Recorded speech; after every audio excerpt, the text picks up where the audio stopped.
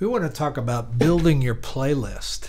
This is a very important step in your live musician's toolkit. So, here are a few things worth mentioning. Number one, for sure, you want to start with those favorite, favorite artists you sound like.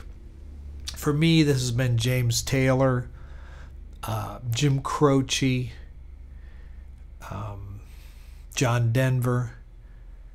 Just to give you an idea, who are those artists that you sound like? Who are the players that when you hear their songs, you just start singing along? In fact, maybe people have even mentioned to you, hey, you sound like so and so.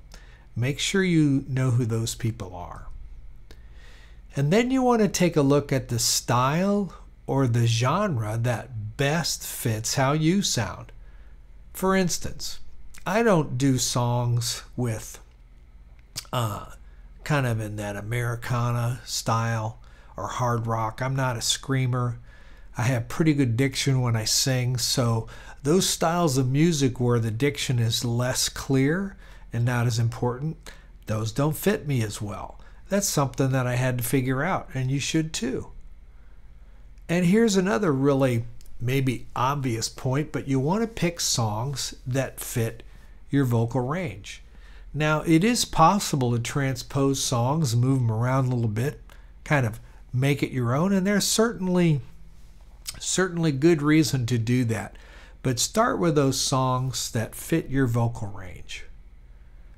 Also, take a look at instrumental accompaniment that lets your voice be highlighted. You want to make sure your audience can hear your voice over the instruments.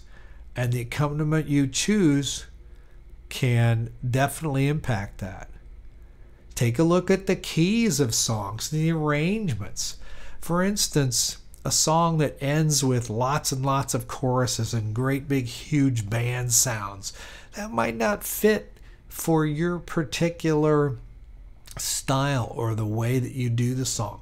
And it's okay if you change the arrangement that allows for the best rendition of that song that you can perform. The same is true for keys.